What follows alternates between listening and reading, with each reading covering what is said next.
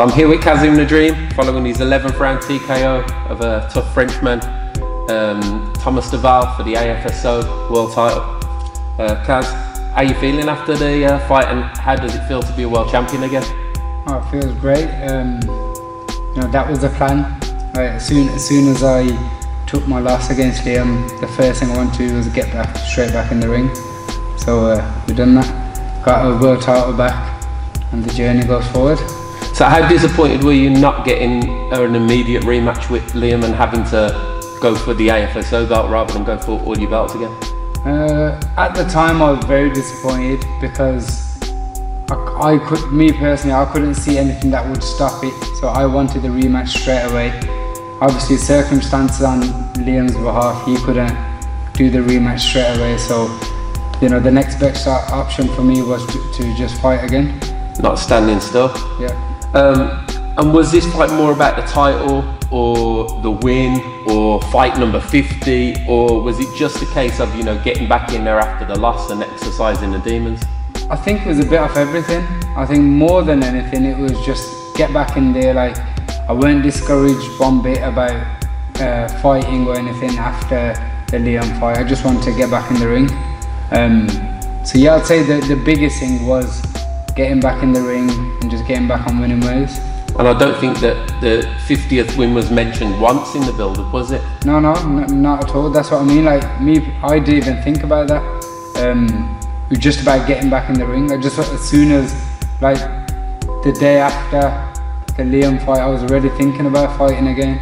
So. And the step up in weight to uh, light welterweight.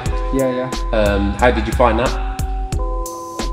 Super comfortable. Like, so I was walking around probably a kilo and a half, two kilos above um, the weight limit of 64.5 and it was probably the easiest weight cut I've ever done.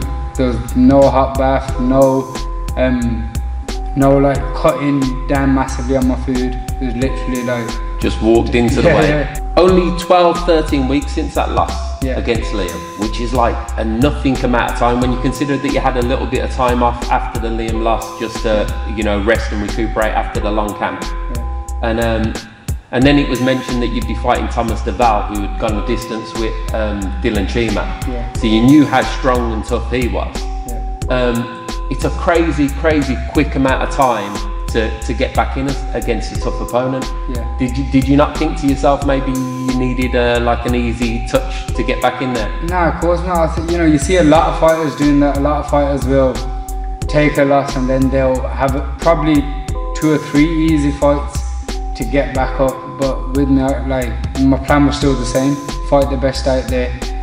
He got offered. I knew he was world class because he's gone 12 with Dylan, like who I fought as well. So um, yeah, I just jumped at the chance. He's like I didn't want no easy touches. I just I want to fight whoever's put in front of me. And one thing I always go by is from when you're at world level, I don't think you should be like you know taking any easy touches. Just fight the best out there. You fight only hear once. Put in front yeah. of you, yeah. And I know you won't say it because you don't, but it was um, not the best training camp for you. Um, um, can you tell them a little bit about that? Probably probably the worst fight camp I've ever had in terms of um, illness, illnesses and um, preparation. Uh, I got ill probably about five weeks out, five, six weeks out. I was ill. I had a week off. Um, just about got over it. Training started up again. Got ill again, which was three weeks out.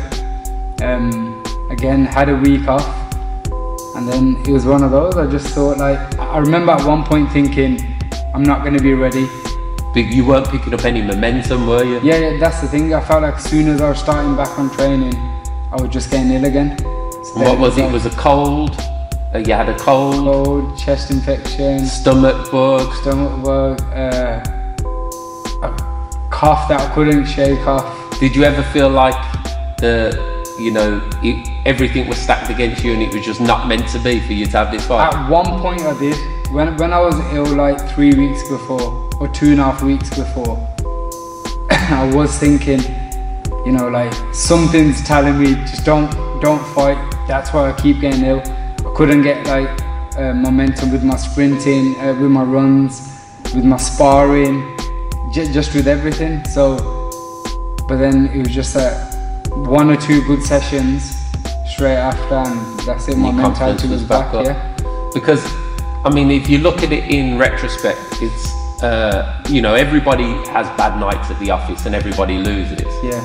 But two losses on the bounce would pretty much finish your career, I would imagine, yeah. at the age you're at. Yeah. Did that ever cross your mind that what if this French guy beats you? Nah, not at all. Like I've, I've, I don't think I'd ever go into a fight thinking, what if this guy beats me? I always go into the fight, I'm gonna smash this guy. So it's like I, even after watching his videos, watch that he went 12 hard rounds with Dylan. Like it's like I just I knew that I've, there's no way he can beat me. That's how I go into into every fight. So you have a dreadful training camp. You pick up a little bit of momentum nearer to the end of the camp. The yeah. fight's set, the date's set. You decide to go ahead with it, yeah. and then we have some trouble actually getting the French guy here the night before. Yeah. yeah. Um, for those that don't know, uh, COVID restrictions were changed in France, uh, meaning that they had to jump through X amount of hoops to, to get over here and compete. Yeah. Um, they'd missed their flights on a Saturday morning to come over for the weigh-in. Uh, Gavin at TMA, um, you know, moved hell and high water to, to, to, to make the fight happen. But we didn't know if we were going to be competing because we, the, the French guy never got in until half ten the night before. Yeah, yeah. Uh, how did that make you feel? Um, at the time, I thought, again, is this another sign that this fight is not meant to happen? Um, but then on the other hand, I just said, just get him over here one way or another, whether it's by plane, by ship, by car, just get as long as he's here. Um, more than anything, I wanted the fight. And credit to Thomas Duval because he his coach said like you know they would do whatever they needed to do to get here because they were super confident of getting a victory over you. Yeah, yeah. Yeah. And maybe that was because of your last performance, and maybe yeah. you underperformed last time, or they seen a vulnerability in your last time. Yeah. But they were super confident they were coming here to take a, to take this belt home. I, th- I think that's a good thing, though. I think anyone fighting for world titles or fighting for any titles should be going into a fight like that. I don't think I could ever go into a fight thinking, oh, I don't know if I'm gonna win this. Like, I think you have to go in thinking, no, I'm definitely gonna win this. And it's good that you know that he came over like that. And you seen the grit and determination on the, on the night, didn't you? You like, yeah, you didn't, yeah, yeah. He, there was no quitting him at all. No, not at all. There's like some of the shots I hit him with, like I've hit other people with, and they, they haven't got back up from, or they've gave up from. And he, he, he, he took some big shots, especially like down to the body as well. Like I felt like some of the body shots I hit him with, a lot of people would have gone down from. Yeah, he was. Especially in eight ounce gloves. Yeah, and he had really good resilience, didn't he? Like yeah, it hurt him, but he kind of bounced back. So, okay, so we get him in the ring. How did the fight unfold to you? How did you feel in the fight? From the early rounds through to mid rounds to late rounds. Um, well, after watching watching his fight, watching his style, um, I knew he was going to be really tight. It's going to be hard to nail clean. Um, but I expected him to be a bit more upright than what it was. But I felt like every time we got close, he was ducking and diving really low, which means I, I was finding it hard to start land uh, to, to, land clean on him. I think as a, I think I should have kept like you know kept my distance with him when he was trying to get close and get low, and teed him off a little bit more. But I kind of found that momentum as the fight went on, and then I felt the later rounds that were going in, like I felt like I was on the, the up and he was on the down. Then I think, you know, like what like what we said before the fight that this guy, because of how tough he is, you have to dent him, start denting him early. And I felt like every round I, I was denting him a bit more and chipping away, chipping away, chipping away until I chopped the tree, tree down. so remember, you come back. I think it was the end of the fifth round. And you leant over and I thought as soon as you lean lean over I know it's not good news. And you yeah. said I think I broke my hand. Yeah. Um, talk us through that. Um, I remember towards the end of the fifth round uh, again I had him on the ropes. I felt like I was just, like lining him up with the jab. And um, I remember swinging a big uppercut and he, he was ducking down into it at the same time so I caught him like on his forehead and straight away I just felt something in my thumb that didn't feel right. Which naturally I thought, okay, I, I broke my thumb. Because you've been there before, haven't you? You broke your hand before yeah. in a couple of fights. So it's like it, it felt the same. So obviously, I'll come back to the corner, let you know. I think I broke my thumb, but halfway through a fight, so yeah, yeah, yeah. we don't stop doing it. Yeah, well, you know, coming back to me in the corner, if you broke yeah, anything, you don't get like a, a, a big hug and lots of compassion. It's like, well, son, you got to work, you got to find a new a new way to win. Yeah, yeah. But you you kept throwing the right hand through the contest. Did you think at any point that you were making your hand worse when you were throwing your shots? I, I, I, don't, I don't think about that at the time. I think whatever pain I'm going through now, it'll be worth it after. Yeah, so, yeah, yeah. As long as my hand don't drop off yeah, yeah. He'll be. He was still saying that he still probably would have glued it back on. But um. So since the contest, obviously you stopped him in the 11th. round, and since the contest you've had your hand checked out. What did they say about that? Um, well, it's suspected uh, that I've ruptured a tendon, and I'm happy that nothing's broke. I've had I've had it X-rayed, nothing's broke. Um, I think it's just tendon damage, and the, the good thing is I haven't snapped anything. Um, just in a few weeks of rest and I'll be back. And you're waiting for a, a MRI uh, on it now? ultrasound. An ultrasound, okay. Yeah, so I should get that in the next few days and then I'll know exactly where I'm at with that. So now let me get this right. We've had 51 fights, yeah. 50 wins, 30 knockouts, five times two-weight professional world champion. Yeah.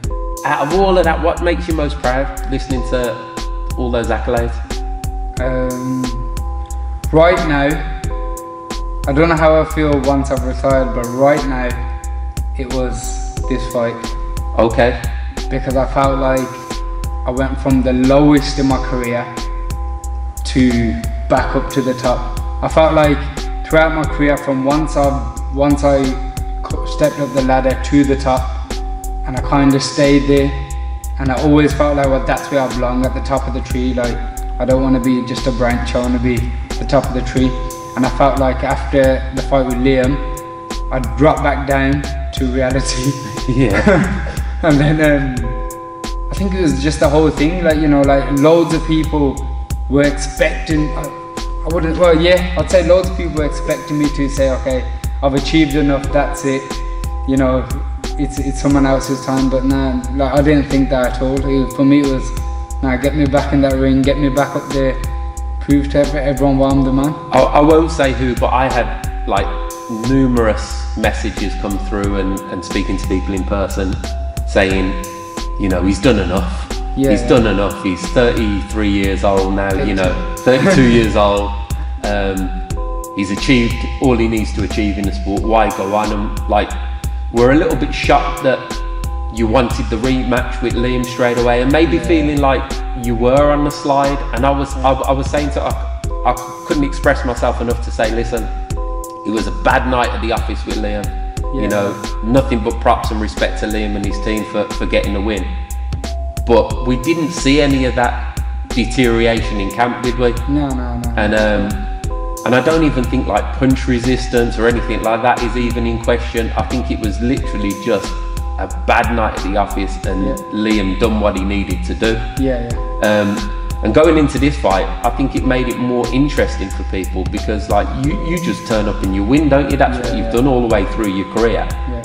And Liam shown that you are human and you, you can get hurt and you can get stopped. And I think that's what made this fight more interesting. Every time the French guy got close, it was like everyone held their breath. Yeah, yeah. Um, but that's the thing. It was like the crazy thing is I don't think I've ever felt as strong during a fight. Mm-hmm. Like I felt like super strong in every way. I felt like even when the video comes out and everyone will see, like even when we're getting in close, I felt physically stronger than him. I felt like I was hitting harder than him. I felt like you know I was I was I was letting go.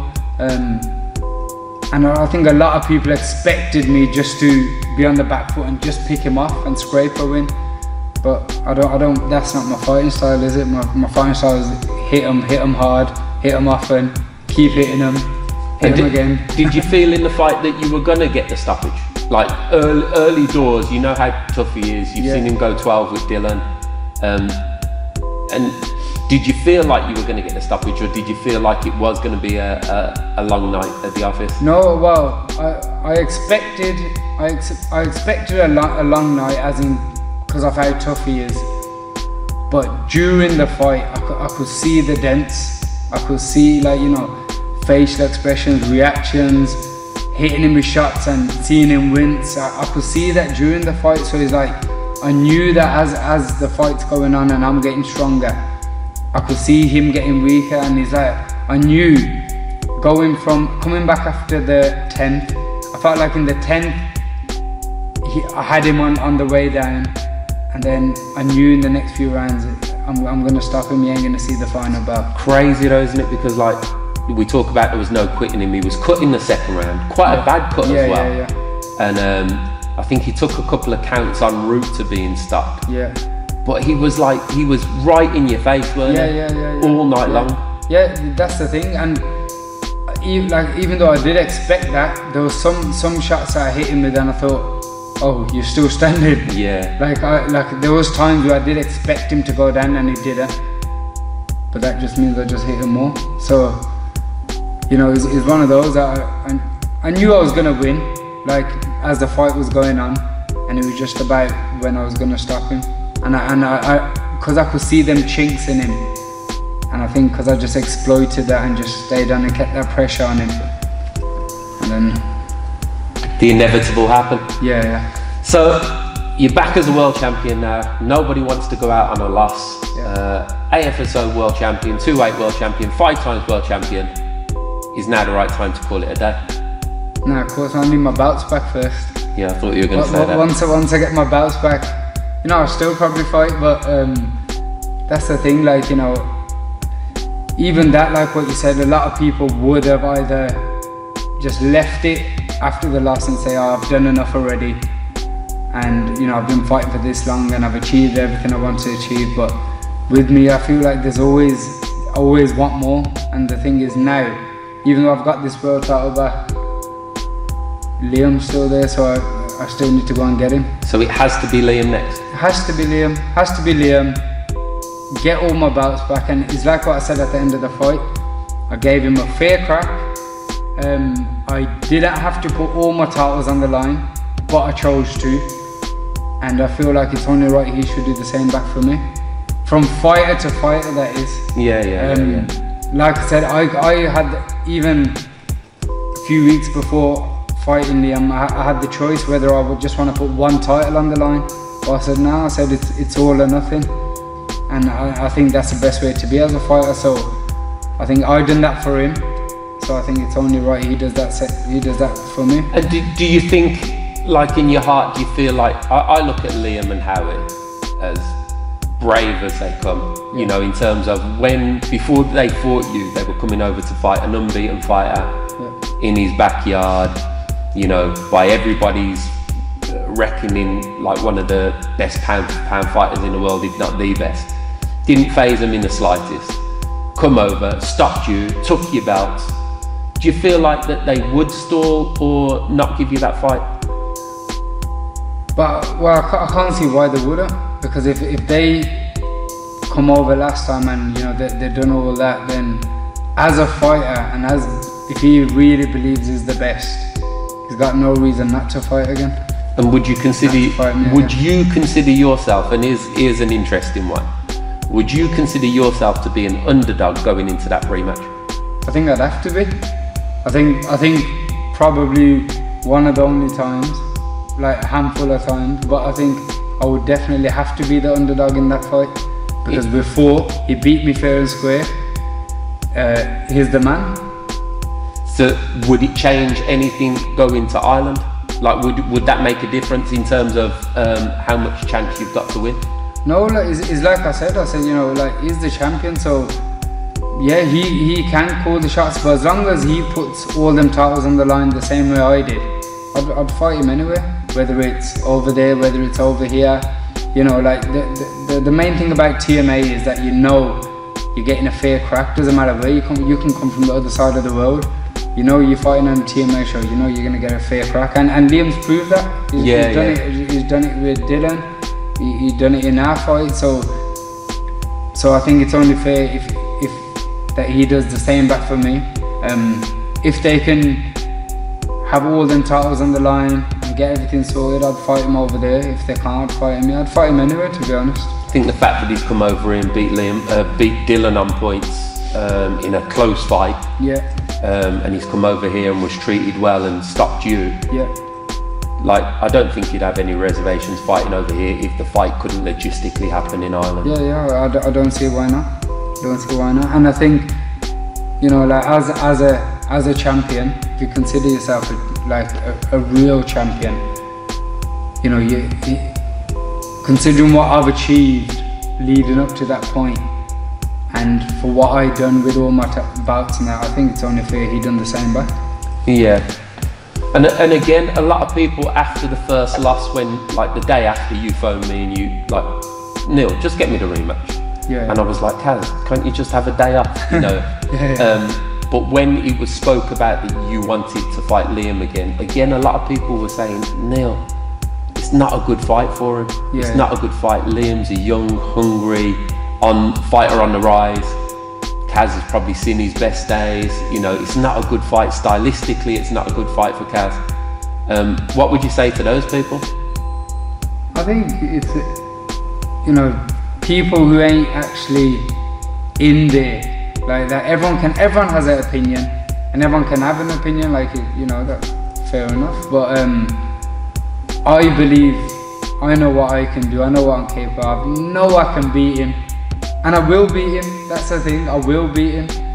Like, and if I had any doubts myself, I wouldn't. I wouldn't. I wouldn't be doing it. I wouldn't be fighting. It's something that you said as well, and it's like that's what champions do. And it's like, and even if even if you fight him and he does beat you again, Yeah, yeah. you like you'll try to, to Yeah, yeah, reverse yeah. a loss, won't you? It's like um, you, you're one of your big heroes, Naseem Hamed, Yeah, yeah. and it burnt you the fact that he never tried to reverse a loss against Barrera. Uh, yeah, yeah, yeah. And And it's like, you know what? Another thing, like, doesn't matter what anyone says and how a fighter is, it only takes one punch. yeah, yeah, It takes one punch that could change everything. Like, I, I say that to our fighters now. I say, you know, you could be winning every second of every round, get hit with one punch, fight done.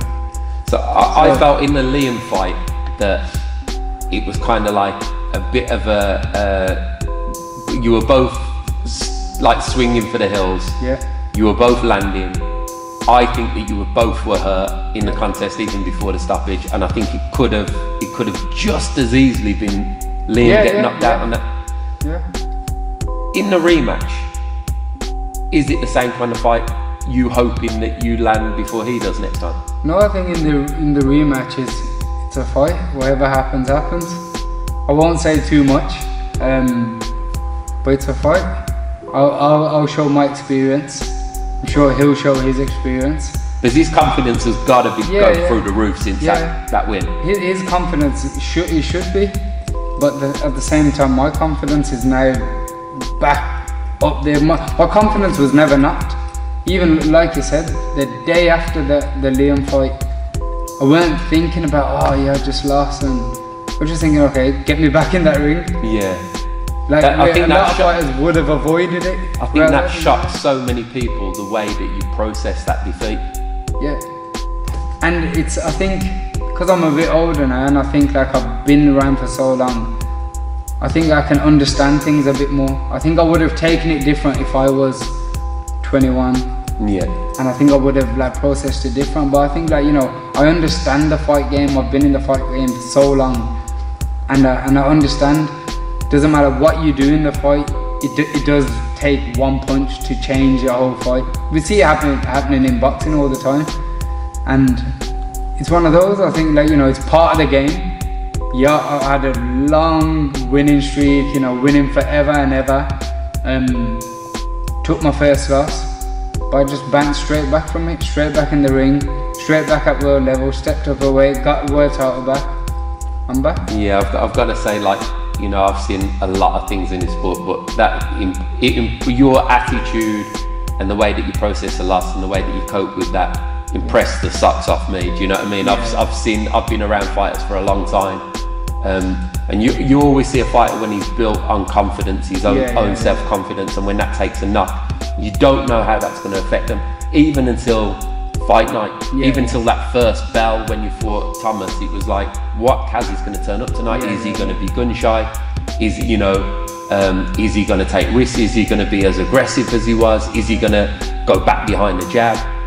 And I think the beauty of the fight against Duval was you kind of like shown a little bit of everything in, yeah, in, yeah, in yeah. the fight. Yeah. And I think learning things about yourself, even you know, in your 50th first fight, it's um, it's quite impressive. That's the thing that most people, like you said, most people probably would have taken it different or reacted different from it. But like I said, my, my confidence went up from that. I, I didn't think, oh, I, not one point do I sit there and think, oh no, Liam's a better fighter than me, I can't beat him. I just think it's a fight. Same way he won the last one, I'm, I'm gonna win the next one. And isn't it great as well, like going into that last fight, there was a lot of hype surrounding the fight and it was like the biggest fight in full contact. To a degree, this fight is even bigger and better because there was a lot of people that had you as a strong uh, favourite to win that fight yeah. because Liam's young and you know he's um, he hadn't fought for a long time and um, he'd only had one professional fight at that kind of level. Um, but he, he kind of just ripped up the script, didn't he? And yeah, I think yeah. going into this next fight, it's even bigger. Yeah, yeah. It's even bigger. It's got the world watching again. Um, and, I, and I think it's a fight that full contact absolutely needs right now. That's why, like, that, that was another thing. That's why, like, I gave him his full props. He came over, he done the job I can't knock him for anything. Um, you know, he was confident. He showed his confidence. He, he, he done what he said he was going to do. Um, you know, I I can't knock him. And from from that point, like the one rule that I always stand by, and I say this to people is, from the point you step in the ring, there's there's no excuses. No one should have any excuses after a fight. So it's like in the Thomas fight, if like I, I, I didn't turn around and say, oh, oh, I hurt my thumb in the fifth round, so really I would have knocked him out in six.